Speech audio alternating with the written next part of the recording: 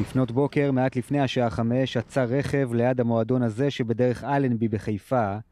ממנו ירד אדם חמוש והחל לירות מספר רב של כדורים, חלקם גם חדרו את דלת המועדון.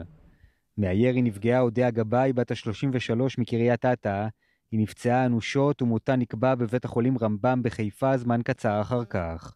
אודיה, אימא לחמישה ילדים, הקטנה בת שנתיים והגדולה בת 16, היא נהגה לעבוד כברמנית במועדון, מוכרת לשירותי הרווחה בקריית אתא שמסייעים כעת גם לילדיה. במהלך היום עצרה המשטרה ארבעה חשודים במעורבות ברצח וצפויים מעצרים נוספים. נבדק האם קטטה שהייתה במהלך הלילה במועדון קשורה לירי שהגיע אחריה.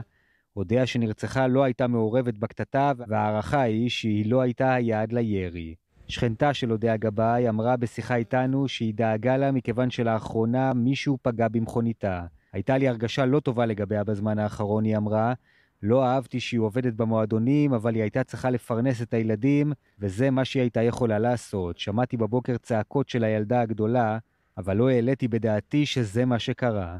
בשבוע שבו צוין יום האישה הבינלאומי נרצחו בישראל על פי החשד שלוש נשים, תושבת שפרעם שנדקרה למוות על ידי בן זוגה, תושבת נהריה שגופתה התגלתה בעסק שלה ונסיבות מותה עדיין נחקרות, ואודיה גבאי, שנורתה לפנות בוקר בכניסה למועדון שבו עבדה.